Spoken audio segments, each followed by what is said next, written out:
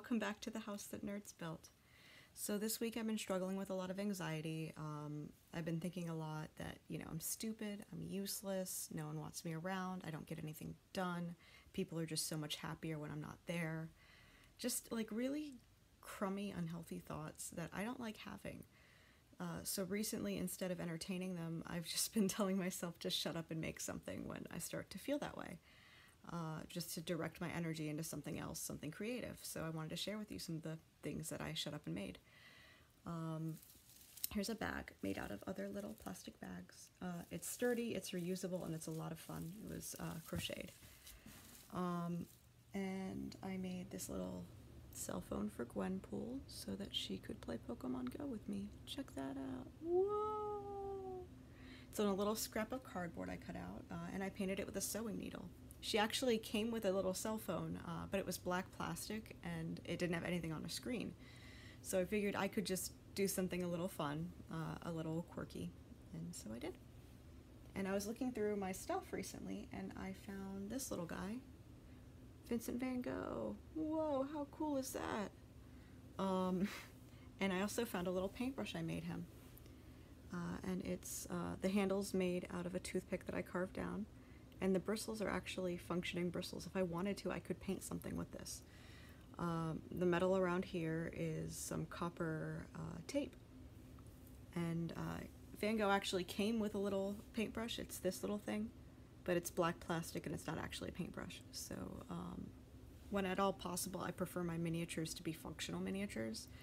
I like that uh, I like when things can be actually used for what it seems like they could be used for. I don't like dollhouse doors that don't open.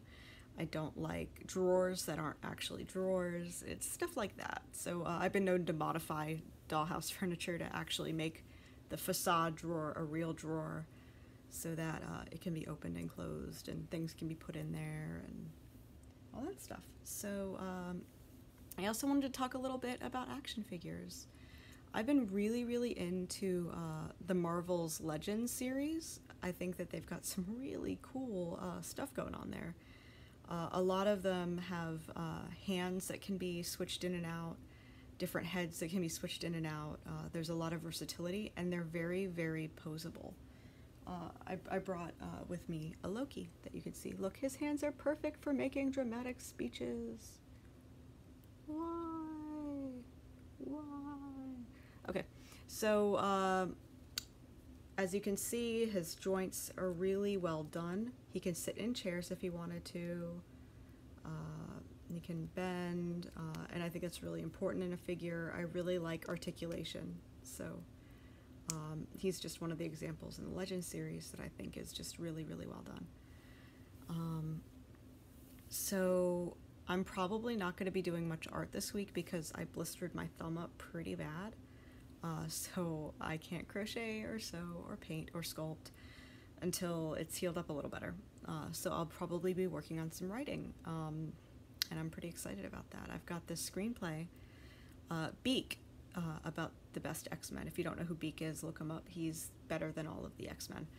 And so I wrote him a movie, and I want to finish up my editing on that and send it out there so that people can read it because it's honestly one of the things I've written I've written that I'm proudest of and I want other people to enjoy it too and you know maybe someone will make it someday and that'd be really really cool. So this is Beak right here. Yep, he's the best. So you can probably see why I think people need to kind of be nudged to give him his own movie. But um, I think he's he's honestly a fantastic character with a lot of potential.